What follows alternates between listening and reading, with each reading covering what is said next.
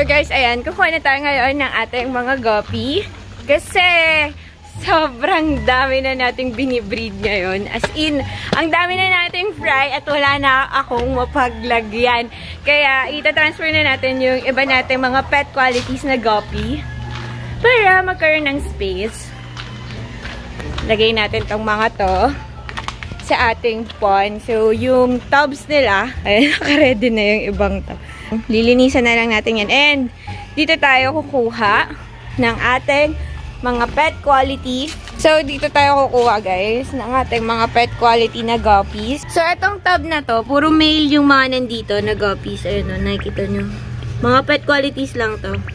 Yan. And then, meron din, itong dalawang tab na to, tsaka itong tab na to. Halos magkakaparehas lang din sila.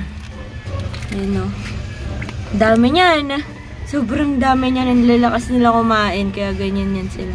Mga pet qualities lang to. And itong mga red tail na to. So, ayan guys. Kunin na natin tong mga to. Para ma-meet na nila si Donnie. And then, si Turby. Para makita nyo din. Ito, ganito sila hulihin guys. Tingnan nyo.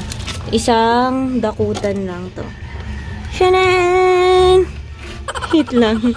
Pakita ko sa inyo. Meron pa doon. Ang dami nila, ba diba? Sobrang dami talaga. Ayan sila, guys. Mga pet quality lang to. So, ito pa lang yung first na huli natin. So, hulihin pa natin yung iba. Time-lapse. Pasok.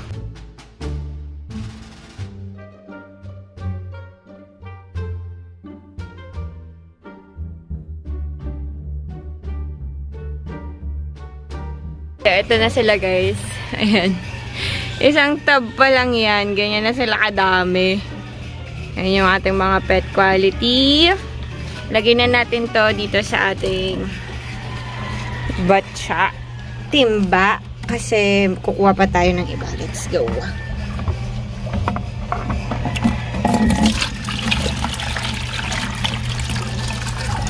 Ayan. Tapos, kuha pa tayo sa kabilang tab. Dami no. Isang tab pa lang yan. Ilan pa lang yan. Tara. Dito naman tayo. So, dito naman tayo guys. Ito, mix to ng female at saka ng mga, may mga fry na din kasi nga female tab to. So, pet quality lahat tong mga to. Para mas madaling hulihin.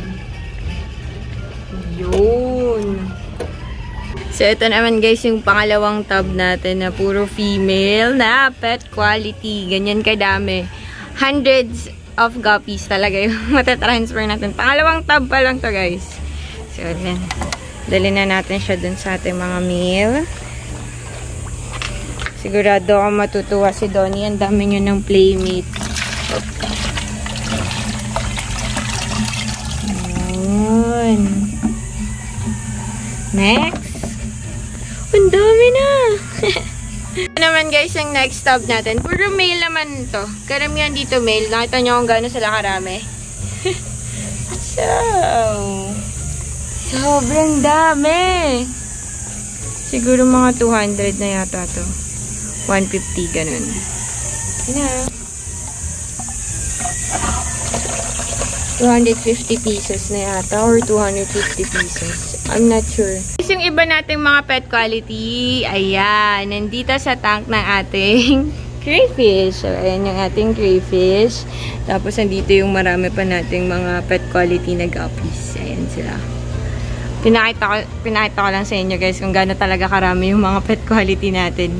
So, tara na, dali na natin yung iba pa nating pet qualities na mga kinuha natin dito sa ating guppy farm sa turtle. So, tara. Go! Okay guys, so naka-standby na yung ating GoPro doon. Ayan, naka-standby na at ready na nating i-transfer ang ating mga guppies. Ayan. Kuha na tayo ng dami. First 50. Bilang. so, ito na yung 50. In 3, 2, 1, go! Go, go, go, go, go, go, go, swim, guys! Welcome to your pond. Sobrang laki niyan, guys. Baka maligaw kayo dyan. Ay, may natira pa. Yan, guys. Ayun na sila. So, guys, etong, gina etong ginagawa natin, guys, para na din itong experiment. So, we will see kung kakainin ba to ng ating mga turtle. Mauubos ba sila ng ating mga turtle or Rarami kaya sila? Mas lalo pa kaya silang rarami dito sa ating pond. So, yan. Yan sila. Baka maligaw kayo, guys. Masyadong malaki ang pond. Ito sila yung iba. Hello, ang cute. Nag-schooling sila. So, tara, tapusin na natin itong iba pa. Madami-dami pa sila. Go, guys. Go. Go swim! Yan. Yun no. Kasi nagtago sila Becky. Tsaka si Turby. Another. Pang ilan na to? Pang ilang catch na natin to. And medyo kumukunti na sila. Hundreds to. Siguro mga nasa 200 din to. Kasi tatlong tab yun eh. Tapos may mga fry pa. So, ready? Release! Go!